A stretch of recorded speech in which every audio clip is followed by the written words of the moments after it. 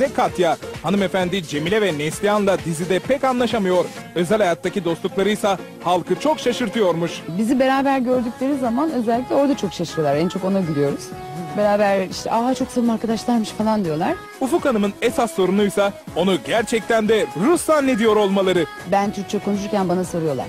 Rus musunuz diye biz en çok ona gülüyoruz. Yani "E, hayır Türk'üm falan diyorum. Aslanım, hayırlı bir yola çıktın. Kalbini ferah tut. Böyle zamanda biraz tevekkeli olmak lazım. Validem vaziyeti amcamın kulağına giderse... Bilemiyorum sonumuz ne olur. Berdeviner valide her yerde kulağı var.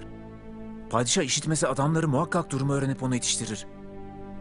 İşi kotaracak zavat korksun Murad'ım. Sen niye korkarsın anlamıyorum. Adını sakın dediydim. Eğer sözümü dinlediysen, halinden hareketinden sarayı haberdar ederek yürüdüysen... ...korkmana gerek yok. Yüreğini ferah tut. Maşallah bu konuda fazla bilgi edinmişsiniz paşa. İyi oldu elbette. Lakin önce oraya gönderip sonra buraya getirtmek ne kadar doğru oldu bilmem.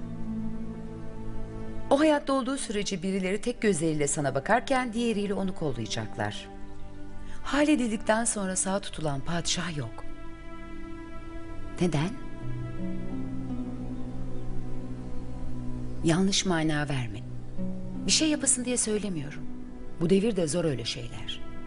Saltanat icabı haliyle tayinler yapacaksın, terfiler vereceksin, ihsan, nişan dağıtacaksın. Birileri hoşnut olacak, birileri rahatsız. Kimileri menfaatlenecek, kimileri zarar görecek. Umduğunu bulamayan Abdülaziz Han zamanında böyle olmazdı diyecek. Böyle bu iş. Doğru söylüyorsun valide. Ama çare yok. Çare yok diye bir şey yok aslanım. Valideler çare bulmak için var. Dur bakalım. Gün doğmadan neler doğar. endişelenmeyi gerektiren hiçbir sebep kalmamıştır. Ya evet bence de. Ne yalan söyleyeyim vefat haberi geldiğinde önce ay dedim. Sonra o. Devletin tepesinden bakınca hadiseleri sokaktaki insan gibi değerlendirmek olmuyordu. Olan biteni padişah efendimize anlatmakla iyi etmemişsiniz. Keşke arza koşmadan bana geleydin. Hünkârı endişelendirecek haberlerin onun sağlığına menfi tesir yapacağını daha kaç defa söylemem gerekiyor. Allah rahmet eylesin demek adetten. Ama bütün bunlar Hüseyin Avni Paşa'nın başımıza açtığı işler. Beni dinlemedi. Dinlese bu sıkıntılar hiç yaşanmayacaktı. Bazı şeyler var ki kör gözüne parmağım yapılmaz. Rahmetli pervasızdı. Hem pervasız hem patavatsızdı. Her şeyi bırak, Aziz Efendi'nin halledildiği gün yaşadığımız heyecan yeter. Ben zihnen ve ruhen hazır olduğum halde az kalsın çıldırıyordum. Allah korusun efendim. Ne yaşadıysa hünkârımız yaşadı. Asabının bozulması gayet normal. İstirahat etmesine yetecek vakti olmadı ki aslanımın. O merasimden bu merasime, o arzdan bu kabule. Eh, Bünyede zayıf olunca. Gidelim mi sultanım? Hadi gidelim.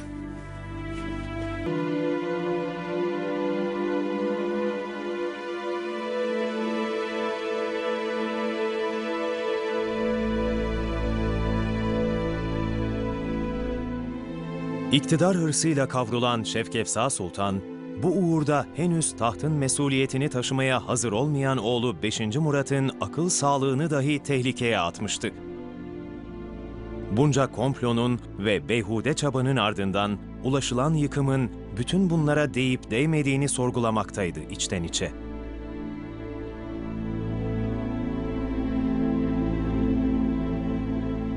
Büyük hayallerle geldiği sarayı terk ederken belirsiz bir geleceğe yürüdüğünün farkındaydı Şevkefsa.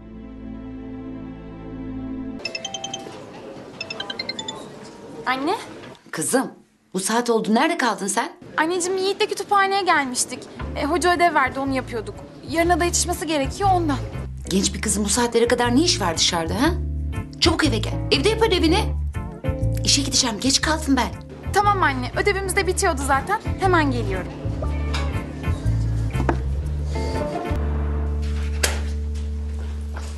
Oh be kızım. Yani nihayet. Geç kaldım. Ya anneciğim kusura bakma. Ödevin yarına yetişmesi gerekiyordu ondan. Neyse neyse. Dolapta sarma var ısıtıp yersin. Tamam. Anne, sana bir şey söyleyeceğim. Söyle başımın tatlı belası. Söyle. Sen hep böyle geceleri mi çalışacaksın? Keyfimden gece vardiyası istemiyorum ki kızım. Telefon santralinde gece vardiyasında çalışırsan daha fazla maaş alıyorsun ondan. Tamam anne biliyorum haklısın. Ama ben ne yapayım? Gündüzleri zaten okuldayım. Akşam da geliyorum sen yoksun. Yüzünü özledim Kiraz Sultan.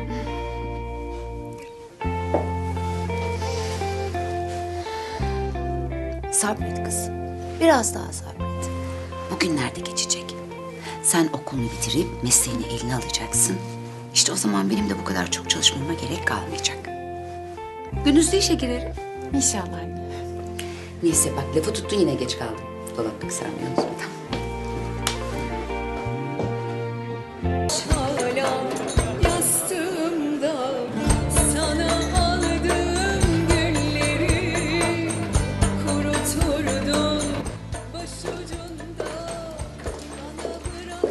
Patron işte sana bahsettiğim yeniden söz.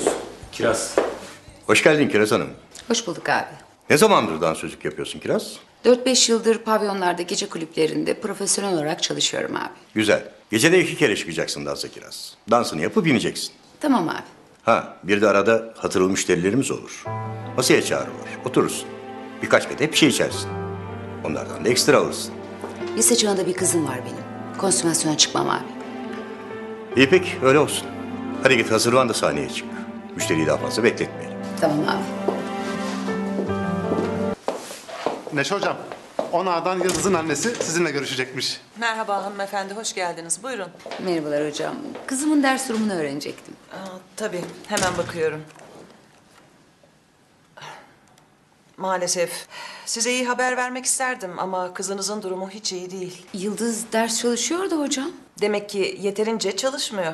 Konuşun kızınızla, derslerini biraz daha ciddiye alsın. Kusura bakmayın, benim derse yetişmem gerek. İzninizle.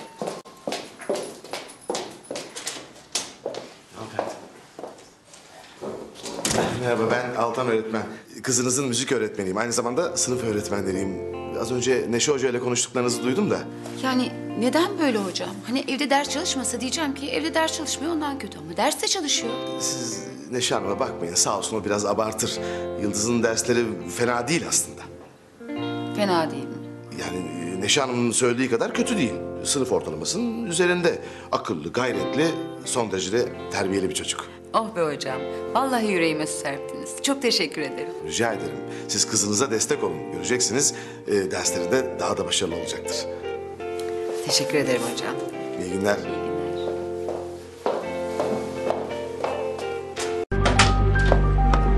Gir.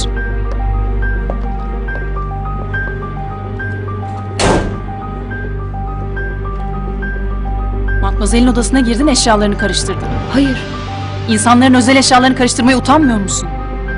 ben öyle bir şey yapmadım efendim. Bana yalan söyleme.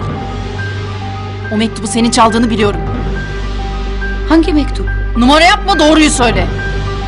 Benim evimde casuslara, hırsızlara yer yok. Topla eşyanı çabuk defol git. Bihter Hanım, lütfen yapmayın. Anneme maşalık etmenin bedelini ağır ödeteceğim sana. Çabuk hemen, hemen şimdi toplan gidiyorsun. Çok özür dilerim. Lütfen kovmayın beni. Terbiyesiz. Bu mu senin iş ahlakın? Bana söyleneni yaptım. Yalvarırım yollamayın beni. Söz veriyorum. Bir daha böyle bir şey olmayacak. Lütfen, lütfen bu işe ihtiyacım var ne olur.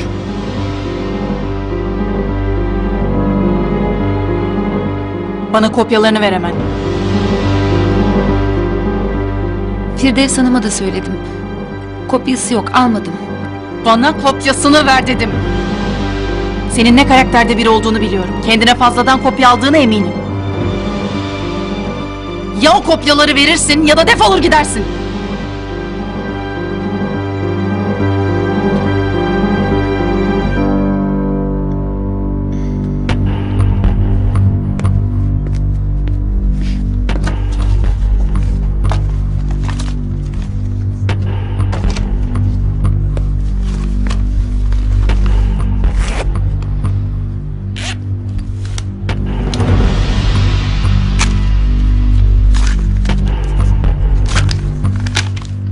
Bir tane mi?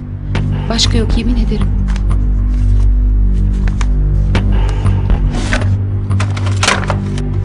Emin olun. Firdevs Hanım'a söylemeyin ne olur.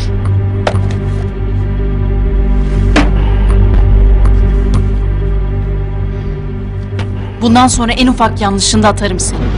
Ayağın tökezlese kapının önündesin. Sakın bir yanlış yapayım deme. Gözüm hep üzerinde olacak. Bu geceden itibaren anneme değil bana itaat edeceksin anladın mı? Bu evin sahibi benim. Sen de benim evimdesin. Peki efendim. Anneme güvenme. Onun da bu evden gitmesi benim bir sözüme bakar biliyorsun. O gittiği gün sen de ortada kalırsın. Kim arkamdan dolap çevirmeye kalkarsa haber vereceksin bana. Buna annem de dahil. Anladın mı beni? Anladım efendim. Baş üstüne.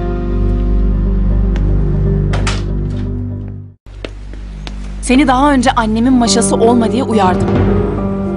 Çok sabırlı değilim Katya. Sırtımdan vuranlara karşı hele hiç merhametim yoktur. Bihter Hanım neden bahsettiğinizi anlamıyorum. Kes sesini. Bir daha odama izinsiz girmeyeceksin. Her şeyin üstüne yemin ederim ki Annemin kuryeliğini yapmayacaksın. ben bir şey yapmadım. Yalan söyleme. Annemin bir lafıyla evin bütün odalarının anahtarlarını yaptırdın. Ama onları iade ettim biliyorsunuz. Sus! Kimin emriyle olursa olsun odama girmeyeceksin. Her konuşulanı anneme yetiştirmeyeceksin. Hadi git şimdi seni tehdit ettiğimi de söyle. Seni kapının önüne koyduğum anda sınır dışı da ettiririm. Bir daha buraya dönemezsin. Anladın mı? Yaparım. Kim ne söylediyse yalan söylemiş. Yemin ederim ben hiçbir şey yapmadım Bihter Hanım. Bundan sonra da yapma o zaman.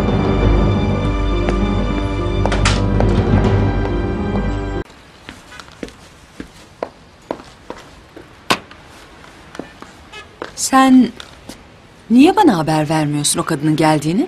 Ee, aradım cevap vermediniz. Mesaj çek, bir şey yap. Çetin'in telefonundan ara. Kızarsınız diye. Çok konuşma. Kadın burada onların gelmesini beklemiş bir de. Niye haber vermiyorsun anında müdahale edeyim? Bir sorun çıkmadı efendim. Kadın geldiği gibi gitti. Sen mi karar vereceksin sorun olup olmadığına? Hiçbir işe yaradığın yok. Hiçbir işe. Bak ben bu evden gidince sen de defolup gideceksin zaten. Rahat edeceğim. Öyle konuşmamıştık ama. Bana karşılık mı veriyorsun? Seninle tartışmıyorum, tebliğ ediyorum. Ülkene mi dönersin, gider başka yerde mi çalışırsın? Ne yaparsan yap, hazırlanmaya başla. Siz ne diyorsanız yaptım. Bugüne kadar bir dediğinizi iki etmedim. Her şeyi berbat ettin aptal. Defol git gözüm görmesin seni. Beni böyle gönderemezsiniz Firdevs Hanım. Sizinle sırlarımız var.